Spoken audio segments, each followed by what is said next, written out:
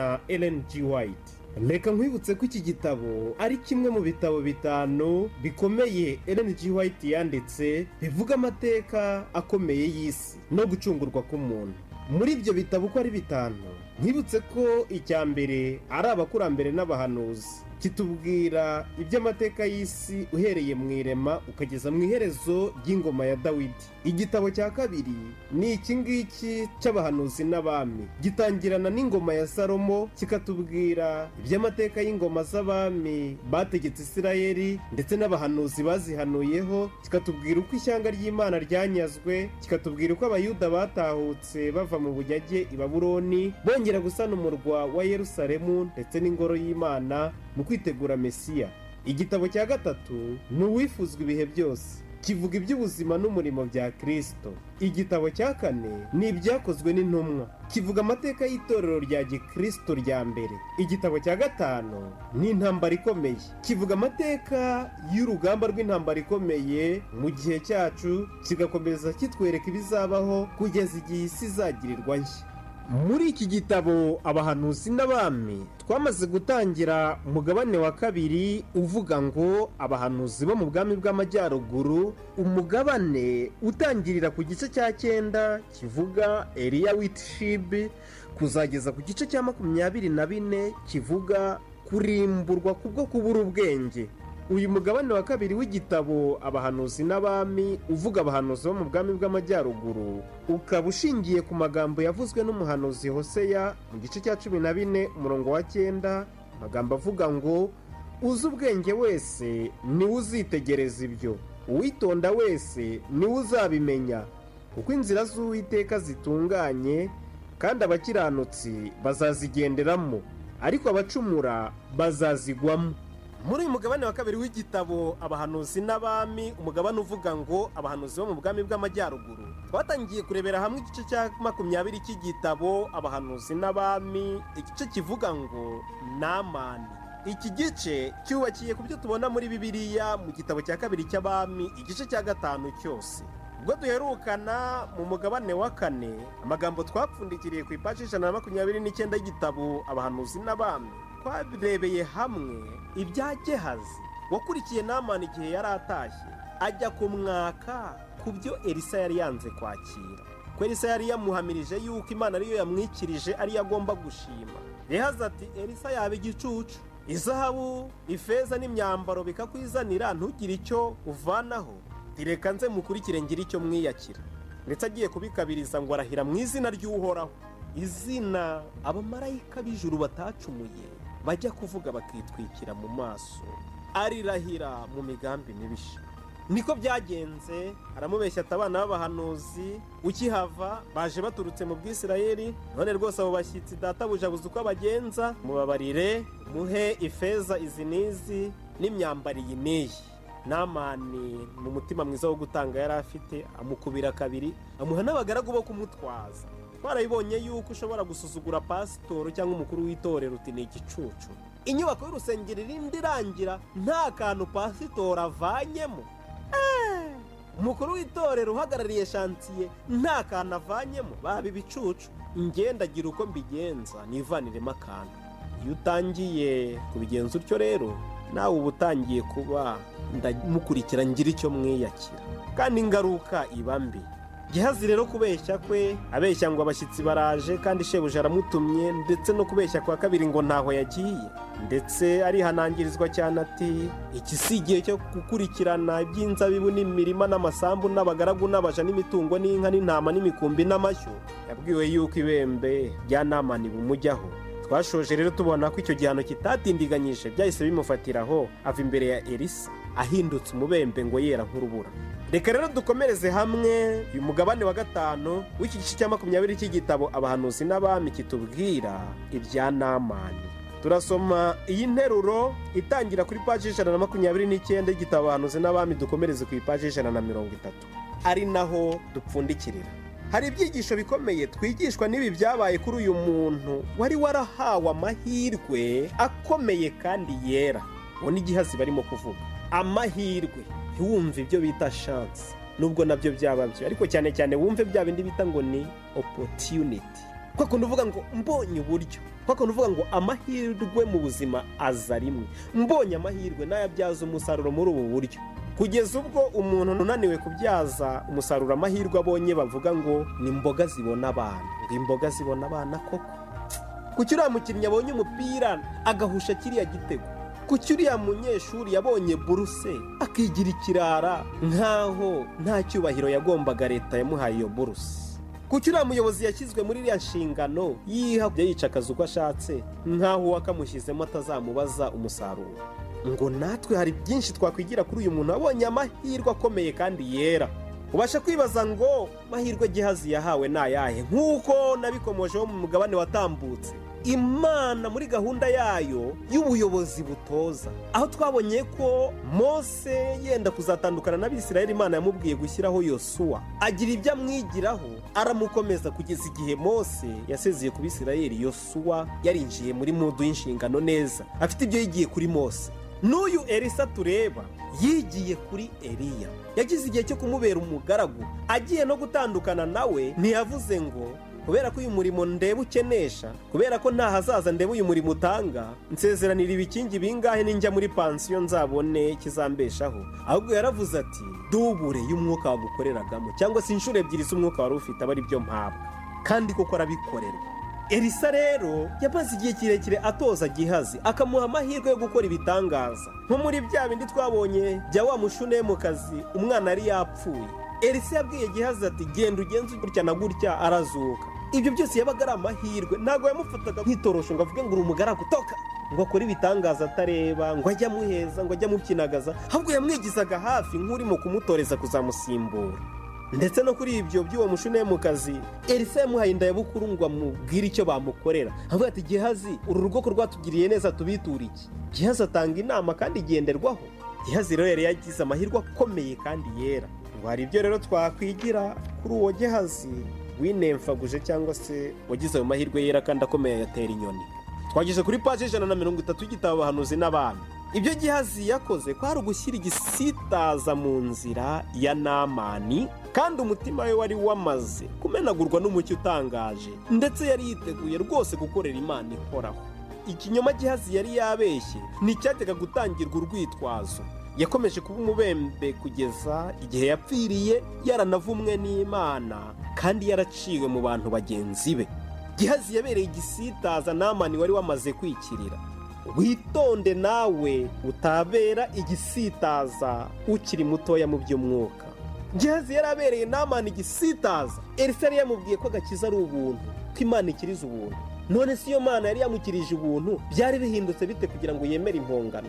Elisa yari yabibye imbuto kandi irera muri namani. Gihazi arabibura. Yagombaga kugirwaho ingaruka.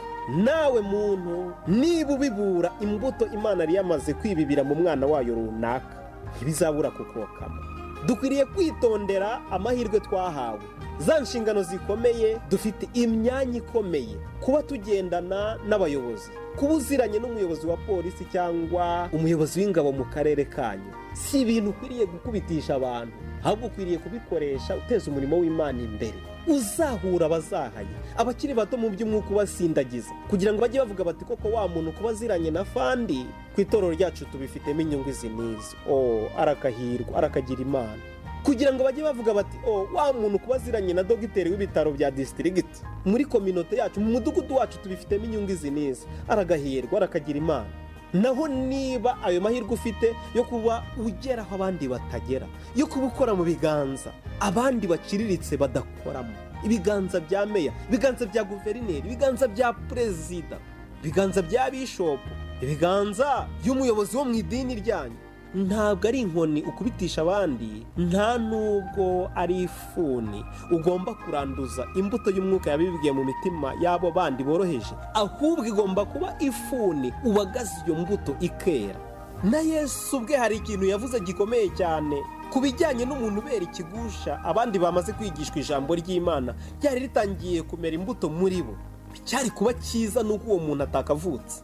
Ukwiriye gutekereza uburyo ukoresha amahirwe ufite. Iyo ufatishije umurongo kuri radiyo ushaka gutanga inyunganizi ujya utekereza yuko icyo wowe wita inyunganizi cyangwa bya bindi ushobora kuvuga uti mfite akabazo k'amatsiko.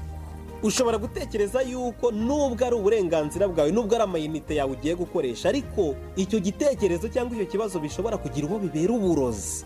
Bigashidikanisha. Ikiganiro cyari cyafashe umurongo uyu n'uyu ugasanga abantu bakerekeje aha n'aha. Abakurikiyeho bose ugasanga ikiganiro gifashe umurongo wowe utari wagitwayemo bitewe n'uwiswe ko abajije cyangwa yunganiye. Mbese ujya utekereza yuko ibyo bita uburenganzira bwawe bwo kubaza cyangwa kunganira ugomba kubyitondamo ngo bitaba ifuni ibibura. Imbuto yari yamaze kwera mu mitima y'abumvise icyo kiganiro. Si kuri radiyo gusa no mu materaniro muri gahunda z'ibyigisho hahandi abantu batanga ibibazo n'inyunganizi. Ujye witonda. Usabire mu mutima kugira ngo icyo wita ikibazo ugiye kubaza cyangwa inyunganizi ugiye gutanga bibe ifuni ibagara imbuto yabibwe mu mitima bibe ifumbire ifumbire iyo mbuto. Ngo mwene uwo muntu ubera abandi ikigusha bari batangiye gukurikira inzira y'agakiza icyiza ni uko yari kuba ataravutse. Byakozwe n'intumwa uzasanga umuntu wari umutegetsi w'ahantu runaka ngo witwaga serugiyo pawuro yatumye kuri pawuro ngo abwirize ubutumwa bwiza maze umukonikoni witwaga eruma. Akakora imbaraga zose ngo abibure iyo mbuto. Pawuro yabibaga muri uwo muntu. Pawuro aramukangara. Tuwa mwana w'umugome we.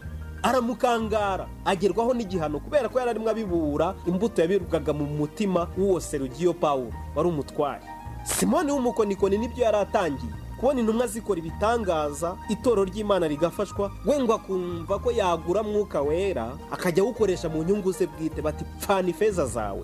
Rimwe na rimwe hari igihe imana itureba kwaba kunganira cyangwa kubaza ikabiburizamo uburyo tutazi. Havuga ngo pfana inyunganizi yawe pfana ikibazo wari ugiye kubaza. Ariko n'ibisohoka rimwe na rimwe bikagira abo byoreka. Ijambo rimwe ryubajije cyangwa wiswe ngo warunganiye rigahindukira uburozi imitima yari yakiriye gukira rigasigara gushidikanya kandi ibintu byari byamaze gusobanuka. Nyir'ukurivuga ntazabura kugirwaho n'urubanza. Gihazi rero amahirwe ye ntabwo yayakoresheje mu kuvomerera no gufumbira imbuto yabibwe muri namani ahubwo yakoreshejwe mu kuyirimbura. Niyo mpamvu tubonyemo ngo icyaha cye nta rwitwazo cyari gutangirwa. Icyari gisigaye ni ukugihanirwa. Akaba umubembe kugeza apfuye kandi akaba ruvumwa mu bantu kuko umubembe yabaga mu kazu ka kato. Hari yakomeje yandika ati umugabo w'indarikwa ntazabura guhanwa kandi uvuga ibinyoma ntazabikira. Biri mu migani cumi n'icyenda umurongo wa gatanu. Abantu bashobora gutekereza guhisha ibibi byabo amaso y'abantu bagenzi babo ariko ntibashobora kubeshya imana. Nta cyaremwe kitagaragara imbere yayo ahubwo byose bitwikuruwe nk'ibyambaye ubusa mu maso y'izatubaza ibyo twakoze. Biri mu baheburayo igice cya kane umurongo wa cumi n'itatu. Gihazi yatekereje ko abeshya elisa ariko imana yishuriye umuhanuzi wayo. Amagambo gihazi yari yabwiye namani kandi imuhishurira n'akantu kose n'akantu kose k'ibyabaye hagati y'abo bagabo bombi. Iyo videwo y'ibyabaye imana yari yayifashe yereka elisa. Impamvu elisa yamubwiye ati umutima wanjye wajyanye nawe igihe byagendaga gutya na gutya ku ntambwe iyi n'iyi n'iyi muganira ibi n'ibi. Ukuri ni ukw'imana naho ikinyoma n'amasura atabarika gishobora gufata ni icya satani. Kandi umuntu uwo ari we wese mu nzira iyo ari yo yose uteshuka umurongo utunganye w'ukuri aba yigambanira yishyira mu bubasha bw'umunyabugome. Abigiye kuri kirisito ntibazafatanya n'imirimo yabo umwijima itagira umumaro. Abefesi igice cya gatanu umurongo wa cumi n'umwe. Haba mu magambo yabo no mu mibereho yabo basaba abantu biyoroheje badakebakeba kandi b'abanyakuri kuko baba bategura kuzabana n'abera batigeze barangwa n'ikinyoma mu kanwa kabo. Wasoma mu byahishuriwe cumi na kane umurongo wa gatanu. Elena White yakomeje yandika muri iki gitabo abahanuzi n'abami kuri paji ijana na mirongo itatu hashize imyaka magana menshi n'amana asubiye iwabo muri siriya akize uburwayi bw'umubiri kandi ahindutse mu mutima. Ukwizera kwe gutangaje kwaje kuvugwaho kandi gushimwa n'umukiza. Ko ari icyitegererezo ku bantu bose bavuga ko bakorera imana. Umukiza yaravuze ati kandi hariho ababembe benshi mu bisirayeli mu gihe cy'umuhanuzi elisa. Nyamara ntihakizwa n'umwe muri bo keretse namani w'umusiriya. Babisanga muri igice cya cumi na kane umurongo wa makumyabiri. Ndetse nusomaho ayo magambo ari uzasanga yesu yaranavuze ati hariho abapfakazi benshi muri isirayeli mu gihe cya eliya. Ariko eliya ntiyatumwe kuri umwe muri bo ahubwo yatumwe ku mupfakazi w'isarefati isidoni mu mahanga aho yezeberi yakomokaga. Mbese byashoboka yuko muri iki gihe cya none hariho ababembe benshi mu itorero ry'abadivantisiti umunsi wa karindwi. Kandi elisa ukiza akaba ari hagati muri bo. Nuko ababembe bari mu itorero ry'abadivantisiti umunsi wa karindwi bakaba batarimo gukira hakaba harimo kwikirira abarimo kuva mu bakatolika abarimo kuva muri adeperi abarimo kuva mu baporoso abarimo kuva mu bayisilamu. Birashoboka. Ko ijuru ririmo kuvuga ngo hariho ababembe benshi mu badivantisiti kandi elisa umuhanuzi ukiza ari muri bo. Ariko biratangaje kuba nta n'umwe wo mu babembe b'abadivantisiti urimo gukira. Ariko harimo harikirizwa ababembe bavuye mu bagaturika abavuye mu baporoso abavuye muri adeperi abavuye mu basilamu n'abavuye mu matorero ya gihanga. Ndetse ijambo rikaba ryavuga ngo hariho abapfakazi benshi mu badivantisiti umunsi wa karindwi kandi eriya ari muri bo. Nyamara ikibabaje ntabwo eriya arimo gutumwa gucombeka kuri umwe muri abo bapfakazi bo mu badivantisiti arimo gutumwa kujya mu bapfakazi bo mu bagaturika mu bo badeperi mu bo mu baporoso mu bo mu basilamu nibo barimo kwibonera imigisha. Icyo ni ikintu gikomeye cyane dukwiriye gutekerezaho. Ijambo ry'imana ntabwo rigendera ubusa. Ngo kandi hariho ababembe benshi mu bisirayeri mu gihe cy'umuhanuzi elisa. Nyamara ntihakizwa n'umwe muri bo keretse namani w'umusiriya. Ruka kane makumyabiri na karindwi. Imana yahise ku babembe benshi bo muri isirayeri bitewe n'uko kutizera kwabo kwari kwarakinze urugi ibyiza bizabaho bicamo. Umunyacyubahiro w'umupagani wari warabaye indahemuka ku byo yizeraga ko ari ukuri kandi wumvise ko akeneye ubufasha. Niwe wagaragaye mu maso y'imana ko akwiriye imigisha yayo kurusha imbabare zo muri isirayeri zari zarahinduye ubusa kandi zigasuzugura amahirwe imana yari yarabahaye. Imana igira icyo ikorera abanyurwa n'ubuntu ibagirira kandi bakitwara uko bikwiriye ku mucyo bahabwa uturutse mu ijoro ibyo navugaga niba abadivantisiti umunsi wa karindwi batita ku butumwa buri muri bo byanditswe byera bibiriya n'umwuka w'ubuhanuzi umuti womora w'igareyadi nta kabuza hazikirizwa abari hanze mu bagaturika hazikirizwa abari hanze muri adeperi mu baporoso no mu basilamu no mu matorero ya gihanga. Niko bizagenda. Ngo bitewe n'uko abitwa ko ari abadivantisiti bagaragaza kwiyemera. None se niba wumva ko soprano yawe hari icyo yagufasha? None se niba wumva ko icya cumi n'amaturo utanga ari icyo byagufasha? None se niba wumva ko kuba urihira abantu mitiweli cyangwa se hari abo wishyurira amashuri n'ibindi byo gusa bihagije? Ukarenga kuko ijambo ry'imana rivuga yuko irembo twuguriwe ryo gukirizwamo ari kirisito umuhanuzi w'imana elisa na eliya bazajyana agakiza ku banyamahanga. Bakizwe. Kubera yuko niba tuvuga ko ibyo barimo bitari ukuri ariko bakagira igihe bamenya ukuri bazagukingurira umutima nta bwiyemezi. Abisirayeli babashaga kwirata kuri namani batura umupagani. Uri umunyamahanga na yo mpamvu urwaye n'ibibembe. Kubera ko imyumvire yabaga iriho ari uko ngo indwara nk'iri yari igihano cy'imana yamukubise urushyi rwayo. N'umwami yaravuze ati ninjye mana yica igakiza.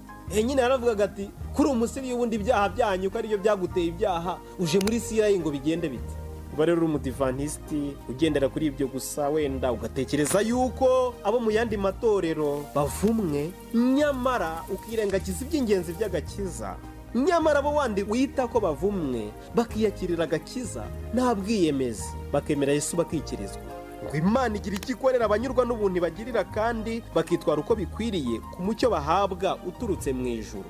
Muri iki gihe mu bihugu byose hari abantu b'inyangamugayo mu mitima kandi umucyo w'ijuru urabamurikira. Nibakomeza kuba indahemuka mu gukurikiza ibyo basobanukiwe ko ariyo nshingano yabo. Bazahabwa umucyo uruseho kugeza ubwo imitima yabo izabahatira guhamya ko nta yindi mana iriho mu isi yose.